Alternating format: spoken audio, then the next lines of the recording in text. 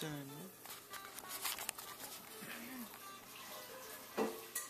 C'était quoi le ton bleu? Hey, now uh, we're doing a never too late video. Uh, bass. And uh, you know.